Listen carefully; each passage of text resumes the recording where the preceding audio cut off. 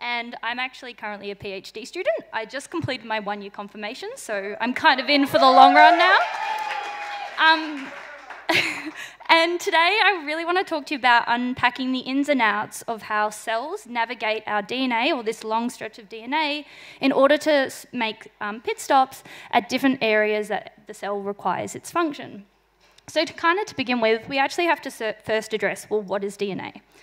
So DNA, it encodes all the genetic information or all the genes that our cell actually requires or um, to make all the multiple different cells we have in our body. And so the process that does this in terms that your DNA, it actually becomes this kind of messenger in terms of an RNA, and then it finally, the RNA gets transformed into something called a protein. And so as a protein, these are the actual aspects of the DNA that has that particular function. So the main point you need to take away from this slide is that your DNA or your genes in your DNA gets expressed to form a protein, and this protein gives that cell that particular function. So where we actually find our DNA in our cell, well, here we have our animal cell, and this actual, actually a lot of different components within, within our cell. And so the one that we're interested in is actually in the nucleus. So pretty much the nucleus to us, it's an area in the, um, in the animal cell that actually contains all our genetic information. And so the nucleus is actually a really remarkable thing because we have two meters in um, length of DNA and it actually fits inside um, a six micron across area. And some random facts about DNA, because it's pretty cool, is that it would take a person typing 60 words a minute, eight hours a day, and around 50 years to type out the entire human genome. And if we actually unravel all the um, DNA in all of our cells in our body, it actually, we could get it to the moon. So, what I want to begin to talk about is actually, we need to be able to fit all of our nucleus inside our cells. So, there's actually a lot of issues with this. And initially, we have to be able to get these two meters into a tiny area. But then, once it's actually in that area, we need to be able to access the information that we want without getting, having to go through the whole uh, DNA itself. So, the way we do this is we actually have to package the nucleus very carefully. And so this is kind of a bit of a scary slide, but I'm going to talk you through it. And that the way the DNA is actually packaged, it's actually done in multiple different layers. And the different layers, they have different functions, and they pretty much act to condense down this two meters of DNA into a very small area. So I'll walk you through it. And so initially, our DNA, it's wrapped around this protein. And this protein, these DNA protein bundles, that's the first layer in which they actually control whether or not we can access our gene. And then these protein DNA bundles, they actually form these regions that are based on the particular functions of those genes. And then they are further compartmentalized into compartments that then go into these um, territories. And these territories form that spherical structure, which is known as our nucleus. And so, what I want you to. Did I miss a slide? Yes, I did miss a slide. So, pretty much what you guys might be aware of with how the nucleus looks like is that it forms these chromosome shapes. So these chromosome shapes, they actually only appear when you have cell division. And so when they're in this state, the DNA is actually really condensed down and we actually can't access our genetic information. And so what I mentioned previously, how we actually package our DNA, this allows our DNA to actually appear looking more like this within our nucleus.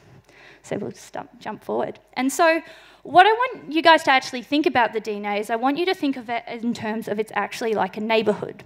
So within our, um, uh, sorry, nucleus. So within our nucleus, you have our roads, and these roads actually represent our DNA.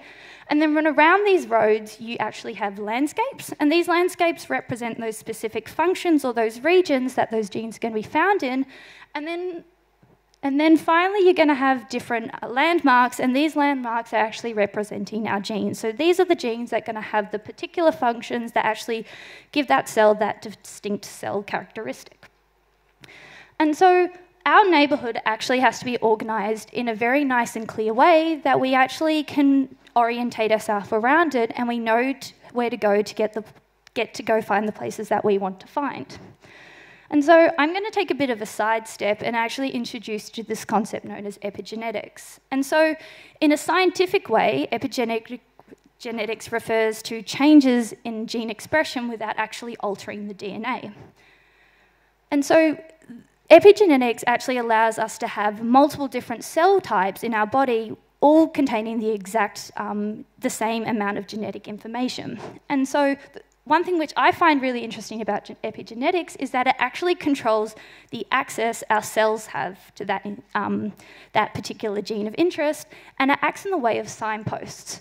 So within our neighbourhood, we have different signposts, and these signposts actually can tell us whether or not we can get to particular areas by following our go or our green lights, or whether or not we're actually hindered and we can't access particular areas. So we have to obey that we can't get to those areas. And so these epigenetics um, signs, or these signposts, they're actually really important in terms of understanding how the nucleus works. And so what we want to understand is how this particular epigenetic map, what effect it actually has in terms of our um, cells. So I actually study the immune system, and a really good cell to actually study how these uh, DNA maps actually change is our killer T cells. So these killer T cells, they actually have the ability to recognize and kill virally infected cells, and we want to be able to understand, as a normal questioning for an immunologist, we want to understand what happens in the context of an infection.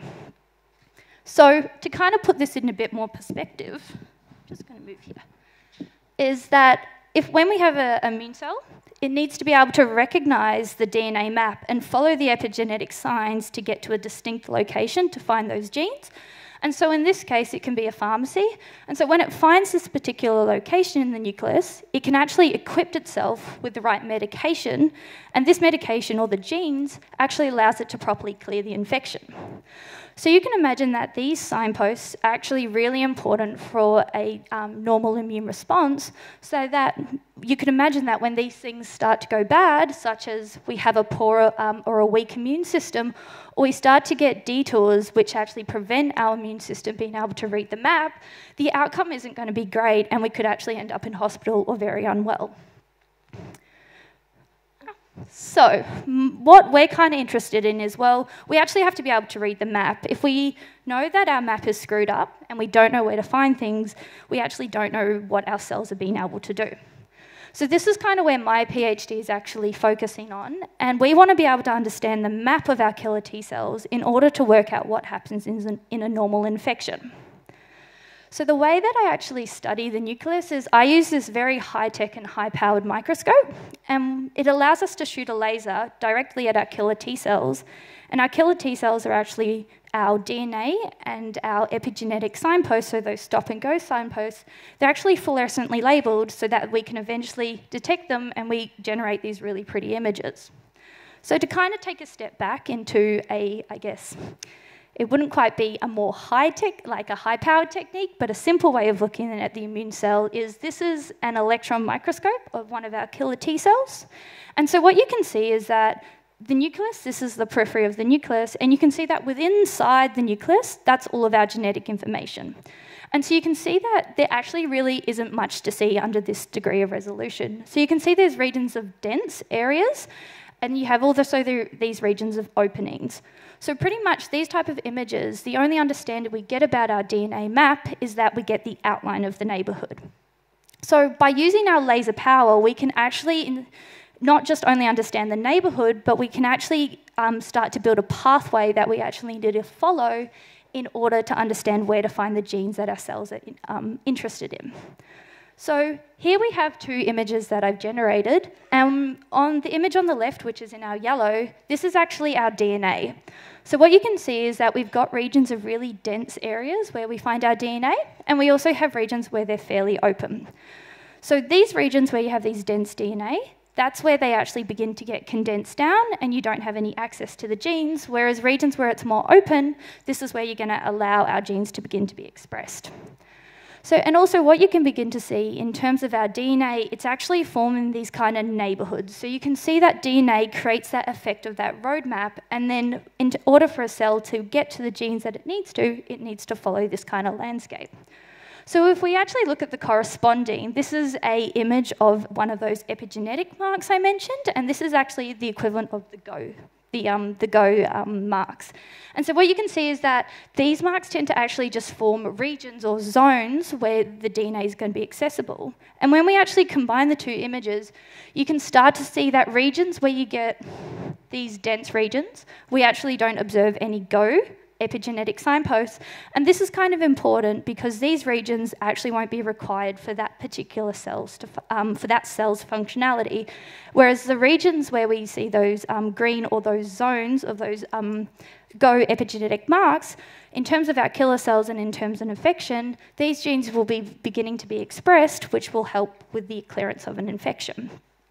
So now if we actually go on and look at a, um, a stop epigenetic mark, in comparison to our Go epigenetic mark, you can start to see that the DNA here, where it's all really dense and we can't access it, access it, it's further enforced by the addition of all of our stop epigenetic marks. So these kind of indicate, although you can have dense regions of DNA, they also need to be regulated and signposted to the cell so that they know that these are areas where they can't access. But like with all science, it's not as simple as stop and go. And we actually can have these proteins, and, these, and we have particular proteins that they actually reinforce our stop or go signals. And it's a way in, it's another further way in which our cells can um, add additional uh, signposts into the maps that we're generating. And so to add, to add more on from here, we've actually got other epigenetic marks that they can actually represent the different other different signs that we can have in our map. So they're not just stop and go, but they more represent those yellow lights or those giveaways or points at time when you have to actually stop and think before you move. And so these particular marks over here, they actually have a role in temporarily uh, preventing access or allowing access our, um, our cells to particular areas of the nucleus. And so to kind of begin to tie this all together, for, in order for us to have a proper immune response, our immune cells need to be able to read our DNA map and follow those epigenetic signs to find the genes that they require for the expression. And so this may all seem really simple, but the thing is, we want to begin to start to understand how these different epigenetic marks, so our stop and go marks, as well as our yellow, um, our yellow lights and our different um, proteins involved, we want to understand this in a multi-dimensional approach so the next kind of step that we want to start to do is be able to see this in a three-dimensional way. And then on top of this, although we're getting this nice kind of landscape that we see in our stop and go signs, we also want to know a bit more about the specifics. So we want to be able to see exactly where these particular genes or where they're actually located within the nucleus so we can actually come in and interrogate this and see how it changes during an immune response. So nice and quick, but that's the end. Go to nerdnite.com to find a Nerd Nite event near you, and don't forget to subscribe to our channel for our latest presentation.